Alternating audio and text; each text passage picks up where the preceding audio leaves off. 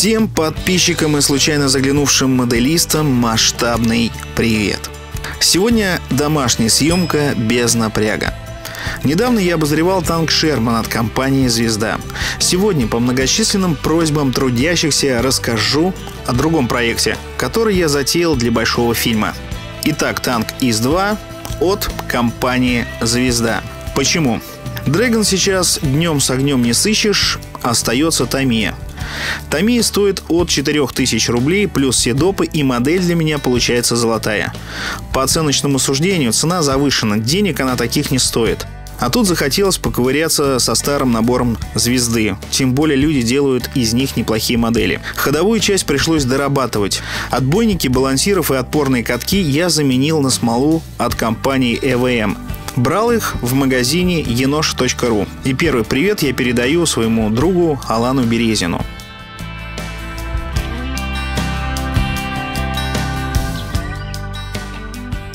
Далее я решил заняться ходовой частью.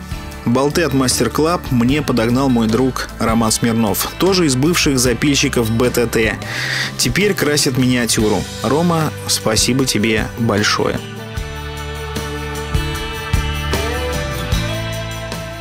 Я взял недорогие траки от компании MSD простонародье макет. Это как бюджетный вариант. Для меня это просто супер. Все как надо, соблюдены левые и правые. Ну, тут мне больше сказать-то и нечего.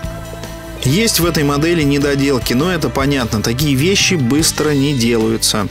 Но кафе я получил офигенный.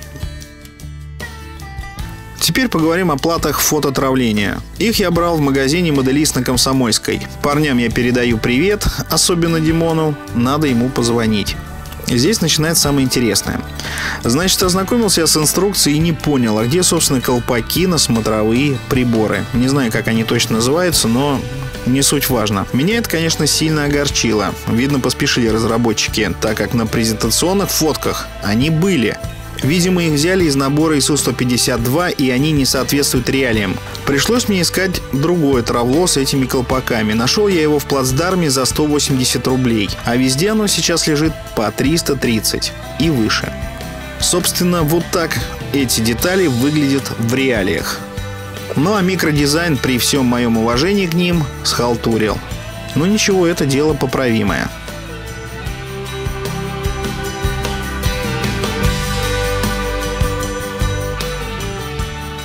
Вторым вопросом, которым мне надо было решить, найти ствол для этой модели. Им вот оказался ствол от компании Model Gun. Павлу Кузнецову масштабный привет. Надеюсь, Model Gun возобновит производство тросов и коушей в ближайшее время. А мне пришлось за ними лезть в заначку. Паш, давай не тяни, выпускай коуши с тросами. Потому что еврика по 400 рублей.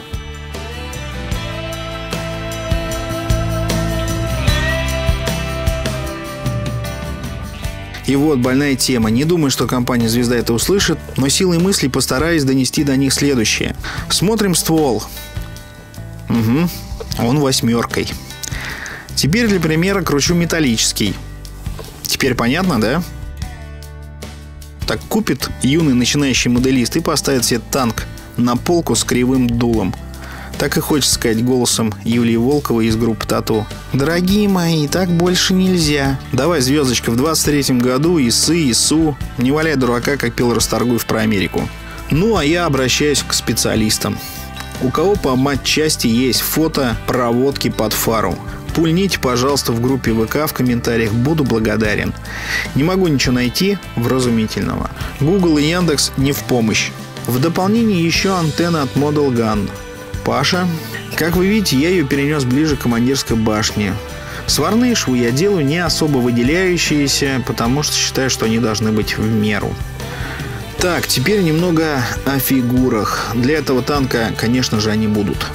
Нашел вот от Мастер Бокс вот такого танкиста. Лицо, правда, никуда не годится. Голову надо заменить. Ну и по традиции тема на злобу дня. Орудие танка устанавливалось на болтах.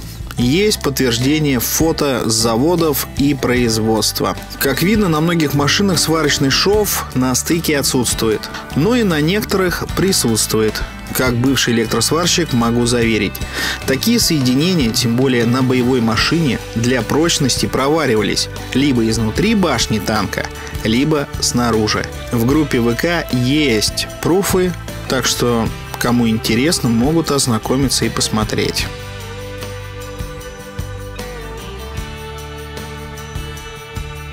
Имитацию брони я выполнил тамийской шпаклевкой и жидким клеем. Смешал эти составы в однородную массу и натыкал жесткой кистью, которую взял от бумажного клея. Закрыл черным пластиком в корпусе щели. М-м-м, звезда, давай уже перевыпусти из 2 Надо скарб придумать, как я говорю, некий декор, который придаст более боевой и такой суровый вид моей модели.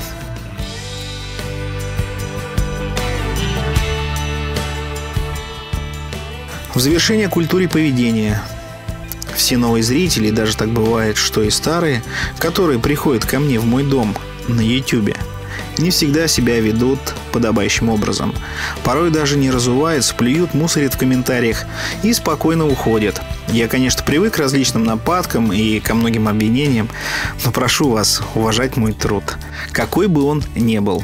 Нравится вам или не нравится. Конструктивная и обоснованная критика всегда приветствуется. А вот для вышеперечисленных мои двери дома будут закрыты. Надеюсь на понимание. А на этом я с вами прощаюсь ненадолго. Меня зовут Александр Бодриков, моделист без стажа и без вредных привычек. Будьте, пожалуйста, добрее. На этом все. Всем спасибо. Пока, друзья.